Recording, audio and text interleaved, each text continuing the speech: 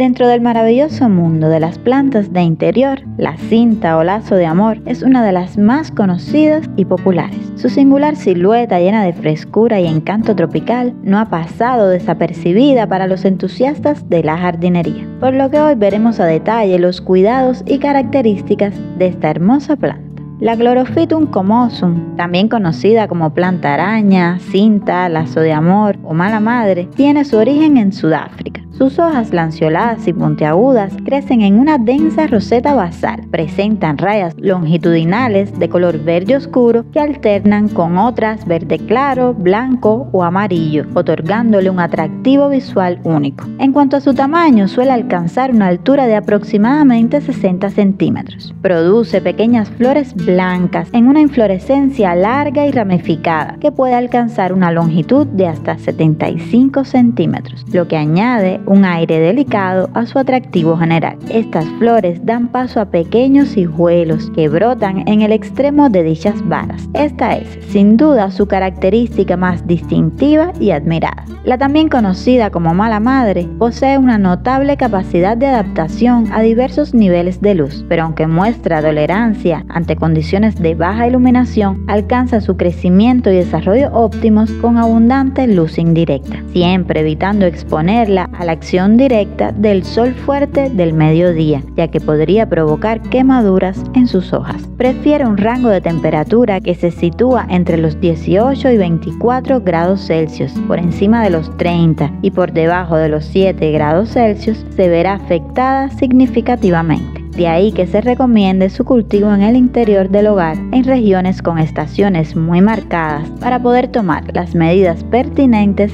para su protección. La humedad relativa ideal para la mayoría de las plantas de interior, incluida la planta araña, se encuentra en el rango del 40 al 60%. Sin embargo, esta planta en particular es bastante tolerante y puede sobrevivir en niveles de humedad más altos o más bajos, aunque en este último caso sus hojas pueden mostrar un aspecto quemado y reseco en sus extremos.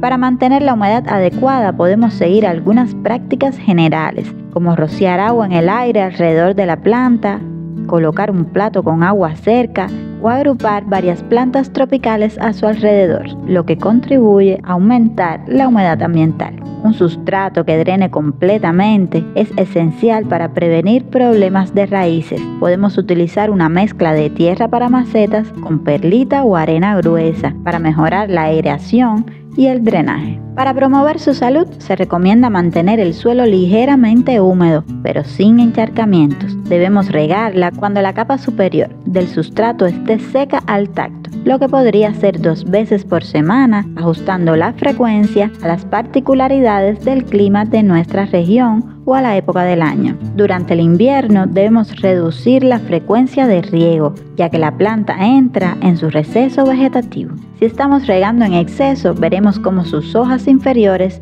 tomarán una coloración amarilla. Si por el contrario la planta comienza a deshidratarse, veremos cómo sus hojas, habitualmente de color verde brillante, se vuelven de un tono apagado debido al estrés hídrico. También es importante destacar que el agua con niveles elevados de cloro o fluoruro puede provocar quemaduras en las puntas de sus hojas, por lo que si tenemos la posibilidad de recolectar agua de lluvia para el riego, la salud general de nuestra cinta mejorará de manera notable. Los trasplantes pueden realizarse cada dos o tres años, preferiblemente en primavera Cambiar la planta a una maceta ligeramente más grande y renovar el sustrato ayudará a promover el desarrollo de las raíces. También será beneficioso aportarle nutrientes mediante un fertilizante rico en nitrógeno, elemento principal en la construcción de las células vegetales, por lo que es imprescindible para plantas de hojas verdes. La planta araña no requiere podas extensas, pero podemos cortar las hojas amarillas o dañadas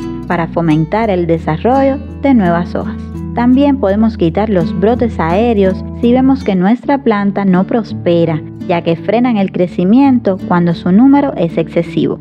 Es resistente a muchas plagas, pero como cualquier planta puede enfrentarse a problemas ocasionales por la aparición de cochinillas, pulgones o ácaros. Por lo tanto, debemos estar alertas para detectarlos a tiempo y combatirlos con agua jabonosa o insecticida. En cuanto a los hongos y otras enfermedades, la mejor herramienta para prevenirlos es evitar el riego excesivo o la acumulación de agua en la maceta. No se considera una planta tóxica, por lo que es muy recomendada para hogares con niños o mascotas. Incluso suele ser consumida en infusiones para descongestionar el sistema respiratorio. Ayuda a mejorar la calidad del aire, filtrando elementos contaminantes presentes en cosméticos y pinturas en aerosol y su resistencia la hace ideal para colocarla en el baño o cerca de la cocina, lugares habitualmente difíciles para otros tipos de plantas.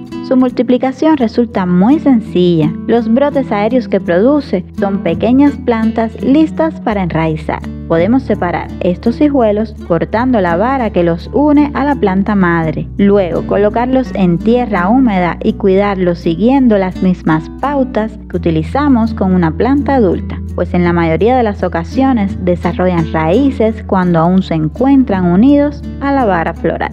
En su región de origen, la planta araña es utilizada como amuleto para la buena suerte, capaz de proteger a los bebés recién nacidos y a sus madres durante la primera etapa de vida, por lo que se suele colgar en sus habitaciones para brindarles seguridad y protección.